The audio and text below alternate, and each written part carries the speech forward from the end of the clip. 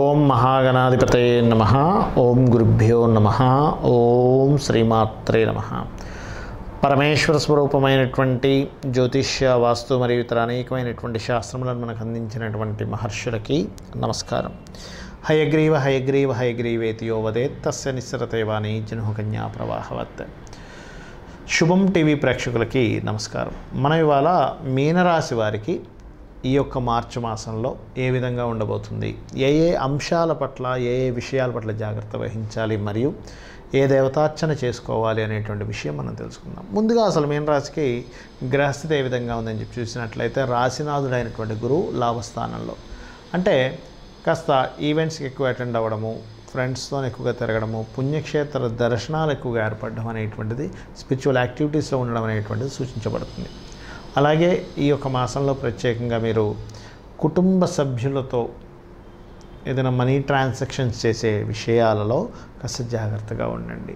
Money transactions ఏదైనా మాట్లాడుకునేటువంటి విషయంలో communication చేసే విషయంలోని సిగ్నేచర్స్ చేసే విషయాల్లోని పర్టికులర్గా జాగ్రత్తగా ఉండండి. ఎందుకంటే ఇక్కడ తృతీయాధిపతి అగ్రిమెంట్స్ కారకుడు అష్టమాధిపతి యాక్సిడెంట్స్ అండ్ ఆకస్మిక సంఘటనలకు కారకుడు ఒక్కడే అయ్యి రవితో కంబస్ట్ అయి ఉన్నాడు. కాబట్టి అప్పులు తీసుకునే విషయంలో ఎందుకంటే ఆరోధిపతి రవి అవుతున్నాడు. రవి తండ్రికి కారకుడు కుటుంబ సభ్యుల్లో తండ్రితో ఏదైనా లావాదేవీలు తర్వాత తండ్రి మూలంగా ఫైనాన్స్ రిలేటెడ్ సంబంధించిన లావాదేవీలు చేసే విషయంలో జాగ్రత్తగా ఉండండి. అయితే ఈ మాసంలో మీరు ఏదైనా కొనుగోలు చేసేటప్పుడు మాత్రం పూర్తి స్థాయి సమాచారం తెలుసుకోకుండా కొనుగోలు చేయకండి. అలాగే సంతానం కోసం ట్రై చేసేటువంటి వారికి చాలా బాగుందని చెప్పుకోవచ్చు ఈ మాసంలో.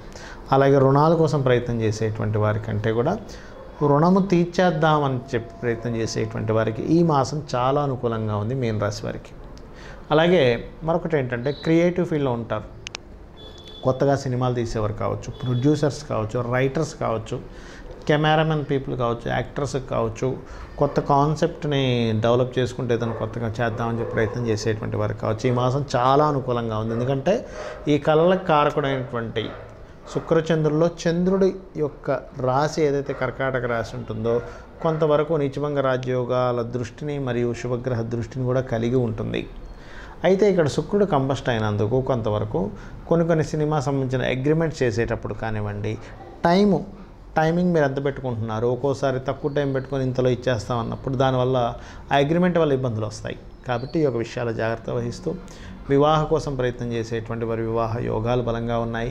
ఈ మాసంలో మీరు కనుక ప్రయత్నం చేసినట్లయితే ఖచ్చితంగా మీకు ఎవరితో అయితే వివాహం అవ్వాలనుకుంటున్నారో వివాహ విషయంలో కొంచెం త్వర త్వరగా ముందు కదలడము విషయాలు పెద్దవాళ్ళు ఒప్పుకోవడం ఇటువంటివన్నీ కూడా చాలా చక్కగా కనిపిస్తున్నాయి.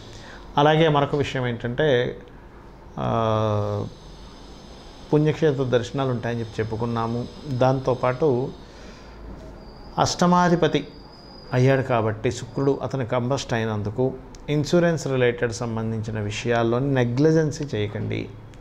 అలాగే కొత్త ఉద్యోగ అవకాశాలు పర్టికులర్గా విదేశాల్లో వెళ్ళి ఉద్యోగం చేద్దాం అనుకునేటువంటి వారికి చాలా అనుకూలంగా ఉంది. మరియు ఫ్రెండ్స్ ద్వారా సహాయ సహకారాలు లభిస్తాయి. కొత్త వ్యాపారాలు ఏవైతే ఉన్నాయో స్టార్టింగ్లో మీరు మొదలుపెట్టే సమయంలో కొంతవరకు ఇబ్బంది పడవచ్చు. కానీ చివరకు వచ్చేసరికి మంచి లాభాలతో క్లోజ్ అవుతుంది. అంటే చూడండి కొంతమంది ఏదైనా వ్యాపారం ప్రారంభిస్తారు. మొదట్లో ఏమవుతుంటుందంటే అయ్యో ఇట్లాంటిది ప్రారంభించేమేంటి? అనవసరమైన రిస్క్ ఎక్కువగా ఉండే లాభాలు తక్కువ ఉండేది ప్రారంభించామని అనుకుంటూ తీరా కాలక్రమేపీ జరుగుతూ ఉన్న కొద్దిగానే మనం మంచి లైన్లోకి వెళ్ళాము మంచి లాభాలు ఉన్నాయి ఇందులో అనేటువంటి దాంట్లోకి వెళ్ళడం జరుగుతుంది. ఎందుకంటే ఇక్కడ మనకి లాభంలో మంచి గ్రహాల యొక్క సంబంధం ఉంది. అయితే మీరు కాస్త ఈ మాసంలో పదిహేడవ తేదీ తేదీ తర్వాత అంటే పదహారో తేదీ నుంచి ఇంచుమించుగా ఆరోగ్య విషయంలో మాత్రం పర్టికులర్గా జాగ్రత్తగా ఉండండి.